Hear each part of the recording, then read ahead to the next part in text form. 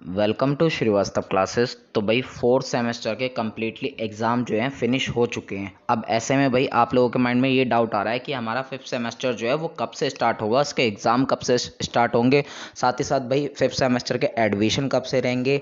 और fifth semester के subjects क्या होंगे और सिलेबस वगैरह, वो सब चीज़ें कैसे पता चलेंगी? टेंशन मतलब भाई क्लियर करता हूँ स्टेप बाय स्टेप देखो भाई, आप लोगों का फिफ्थ सेमेस्टर स्टार्ट होने का को कोई ऑफिशियल नोटिस तो नहीं आता, लेकिन जब आप लोगों के फोर्थ सेमेस्टर के एग्ज़ाम खत्म होते हैं, उसके अगले दिन से ही आप जो है अपना फिफ्थ सेमेस्टर स्टार्ट मान सकते हैं, अपनी पढ़ाई स्टार्ट कर सकते हैं. अब पढ़ाई स्टार्ट करने के लिए भाई आप लोगों को सब्जेक्ट्स पता होने ज़रूरी है सिलेबस वगैरह पता होना ज़रूरी है तो भाई आपको एस की ऑफिशियल वेबसाइट पे सब्जेक्ट्स भी मेंशन मिल जाएँगे कि कौन कौन से सब्जेक्ट्स ऑफ़र करता है एस वेल आपको फिफ्थ सेमेस्टर में साथ ही साथ सिलेबस वगैरह भी सब कुछ वहाँ पे मेंशन है और बुक्स भी आप लोगों को पीडीएफ फॉर्म में मिल जाएगी। अगर आप लोगों को इस चीज़ की नॉलेज नहीं है तो आप मेरे को एक बार कमेंट बॉक्स में बता दीजिएगा। मैं इस चीज़ के ऊपर सेपरेट वीडियो बना दूँगा, जिसमें आप लोगों को कम्प्लीटली अच्छे से समझा दूँगा कि आप लोगों के फिफ्थ सेमेस्टर में सब्जेक्ट्स कौन से रहने वाले हैं सिलेबस वगैरह क्या रहने वाला है और बुक्स वगैरह आप लोगों को कैसे डाउनलोड करनी है।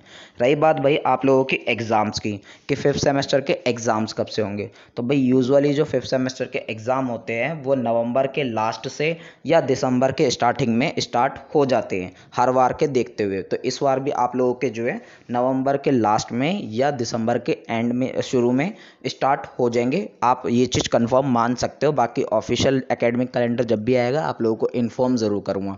रही बात भाई आप लोगों के एडमिशन की तो एडमिशन भाई इस डेट से एग्ज़ाम से लगभग लगभग बीस से पच्चीस दिन पहले आप एडमिशन मान के चलिए।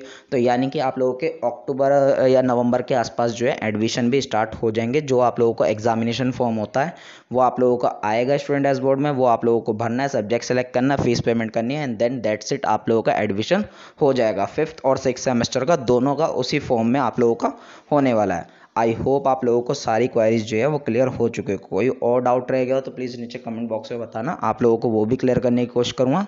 फ़िलहाल के लिए ये अपडेट करना था। मिलते हैं नेक्स्ट वीडियो में।